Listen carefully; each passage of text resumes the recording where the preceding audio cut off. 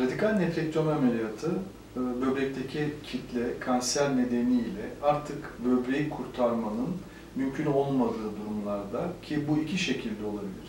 Ya böbrekteki kitlenin boyutu çok büyüktür ya da yerleşimi nedeniyle böbreğin içine doğru yerleşmiştir. Bu durumlarda sadece kitleyi değil, böbreğin tamamını alırız. Buna radikal nefrektomi ameliyatı diyoruz. Radikal nefrektomi ameliyatını tanımlamak gerekirse böbrekle birlikte çevre yağ dokusunu ve yağ dokusunun çevresindeki kılıfı çıkarmak olarak tanımlanabilir.